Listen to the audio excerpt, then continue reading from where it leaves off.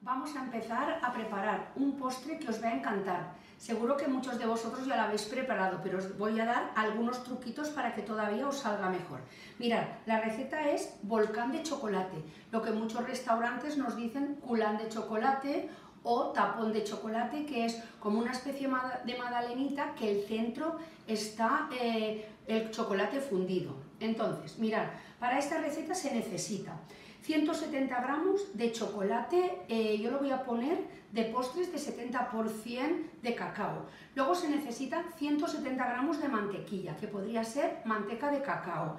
Luego 4 huevos. La receta pone 3 huevos y 3 yemas, pero las sugerencias de la receta nos pone que podemos cambiar las 3 yemas por un huevo más. Luego 60 eh, gramos de azúcar, que yo en este caso voy a poner 60 gramos de eritritol y luego 50 eh, gramos de harina, que en este caso también voy a poner harina de avena, pero vosotros lo podéis hacer con azúcar normal, panela o azúcar moreno, y lo podéis hacer con harina de trigo. ¿Vale? Comenzamos la receta. Bueno, va a ser una receta al principio un poco ruidosa. Empezamos poniendo eh, el horno en marcha a 240 grados, muy importante. Yo lo acabo de poner arriba, abajo y con aire. ¿Vale? Luego nos dice engrasar los moldes. Yo recomiendo los moldes de aluminio de Mercadona, son los que más me gustan porque son estrechitos y altos y el culán sale perfecto y no hace falta ni untarlos con mantequilla, los tengo aquí preparaditos, ¿vale? A continuación nos pide el chocolate, 170 gramos de chocolate, no hace falta trocearlo muy muy pequeño, Ay, me he dejado un trocito he utilizado el del 70%, del 70% de cacao. Ahora lo vamos a rayar hasta que se haga polvo, que son 20 segundos a velocidad máxima.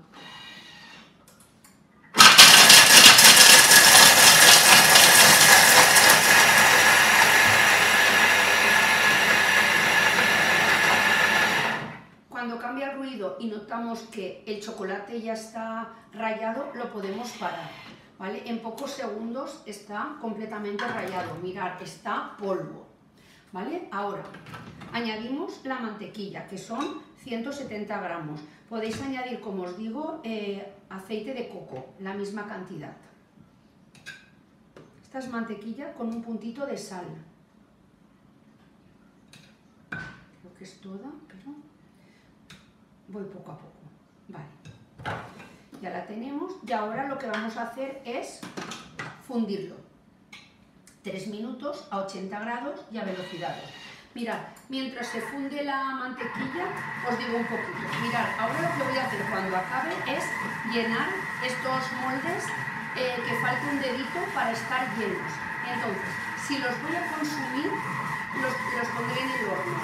Más o menos 7 minutos a 270 grados. Así, de esta manera quedará por fuera el culán hecho y por dentro el chocolate fundido. Y cuando lo cortaré saldrá el chocolate líquido. Si no los voy a consumir, los puedo congelar. Es decir, lleno el frasquito y no lo horneo. Lo tapo y lo congelo. Y el día que lo voy a, a consumir sin descongelar, lo aumentáis un minutito más y se os quedará perfecto. Muy importante, el horno a 240 grados, ¿vale? Me salen aproximadamente poniendo cuatro huevos entre 8 y 9 volcanes de chocolate. Luego, lo de poner harina de avena es que así, si hay alguna persona que, no puede comer harinas refinadas o, o esteliaco, pues podría comer esta, este culán. También podríamos utilizar maicena, pero en este caso voy a utilizar esta harina y a ver qué tal nos queda. Vale, han pasado ya los tres minutos, se ha fundido el chocolate y ahora vamos a incorporar los cuatro huevos. Siempre es mejor que, los huevos los pongáis eh, en un recipiente antes de, de ponerlo dentro del Thermomix por si nos cae alguna cortecita.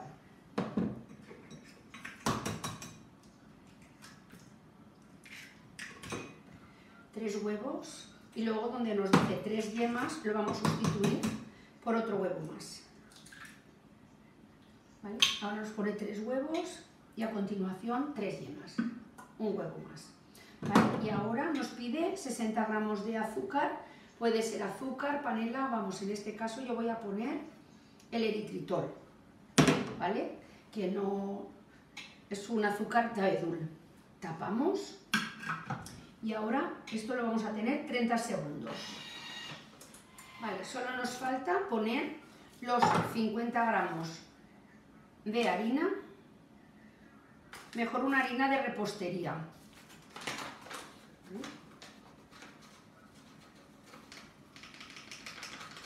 Y un postre que lo tenéis hecho en menos de 4 minutos. Y además, el punto, si el punto del horno está bien, es espectacular.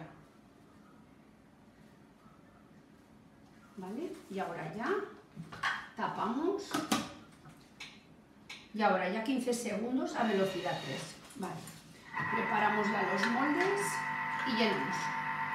Ya tengo el horno calentito porque lo primero que nos pone la receta es que calentemos el horno y, ya voy a poner enseguida uno para poderoslo enseñar. Luego lo voy a, lo, como ahora ya hay fresas, lo voy a servir con unas fresas.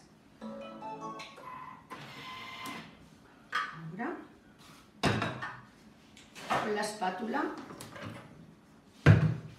acabo de envolver la masa. ¿Vale? La primera vez que vi hacer el culán creía que, el chocolate del centro se inyectaba. No sé por qué creía que, que se hacía algo en especial, pero la verdad es que es la cocción del horno. ¿Vale? Que falte un dedito.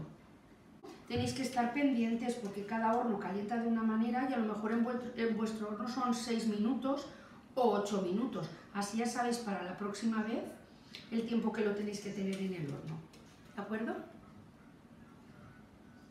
Este es el resultado. Mirad, además, fijaros cómo ha quedado el envase, completamente limpio. Papel de cocina, volcar...